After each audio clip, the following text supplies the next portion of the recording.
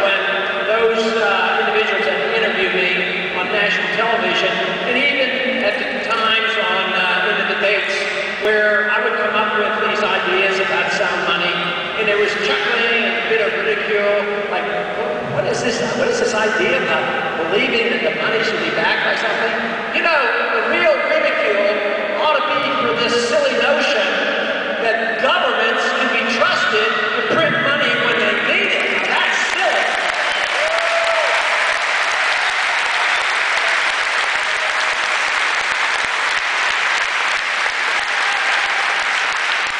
The reason that is so bad politically is that members of Congress and the President do not have to act They can do what they think their constituents want. If they want an appropriation, they vote for it.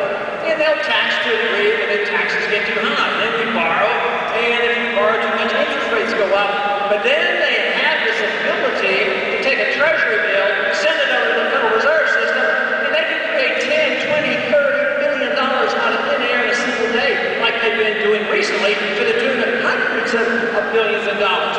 So this allows to grow without being responsible. They end up fighting wars that they shouldn't be fighting, promoting the welfare state that they should be promoting, and who pays the bill? You might say, well, that's fine in the end, but that can pay the bill and make everybody happy.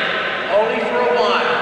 Because eventually, the people who hold dollars figure it out that there are too many dollars, and then what happens? The value of the dollar goes down and prices go up. So every time you have to pay for medical or high prices of food or for energy, you to say to yourself, aha, gasoline used to be $2 a gallon, now it's $4 a gallon. Somebody is taxing me. Then tax is inflation. The people who produce oil want more dollars because it costs, takes more dollars to buy euros. So that is a tax. Now who suffers the most? Not the wealthy, the middle class and the poor pay this tax. It's a regressive tax. It's very destructive.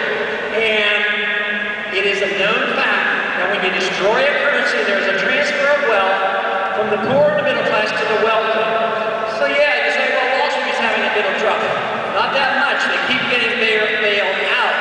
And when they do have a collapse of a company, you know, the, the CEOs walk away with tens of millions of dollars in bonuses.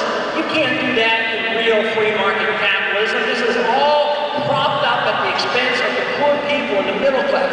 All we have to do is look toward our neighbors to the south. Central America, South America, how many times have they had destruction of the currency? Mexico's been through with it, through it. But the people who suffer the middle class. They have savings in those currencies and they get wiped out.